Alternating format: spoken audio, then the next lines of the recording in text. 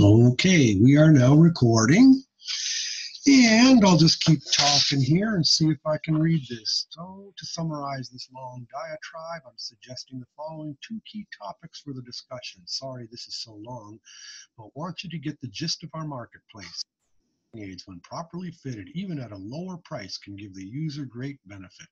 The truth about dementia and hearing loss is it as bad as they say it is?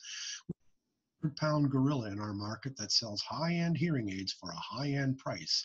Oticon Open One, 7,900 a pair. This company uses the big